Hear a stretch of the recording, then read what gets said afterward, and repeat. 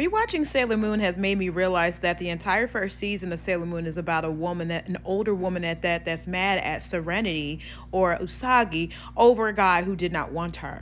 Like, come on, girls, let's really think about it. So, Queen Beryl seen Mamoru with Serenity or Usagi kissing on her and was so heartbroken that she allowed herself to be possessed by a demon.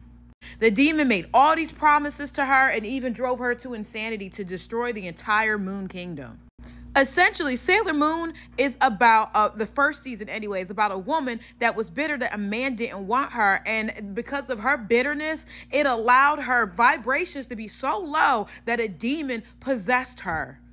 Like, really think about it. Like, you're that upset that a man does not want you that you allow a demon to possess your entire body and give you a give the demon autonomy over your body, and you do anything it says just because of this man. And mind you, you got locked away inside of a crystal, and you're so pit bitter and and upset that whenever thousands of years went by, you're still upset. And he had to be reborn into a from a baby to a man, and you were still mad, and you were still trying to kill Usagi. Like, really, girl? Girl, get over it. Oh my God. The first entire season of Sailor Moon is to a woman being mad over a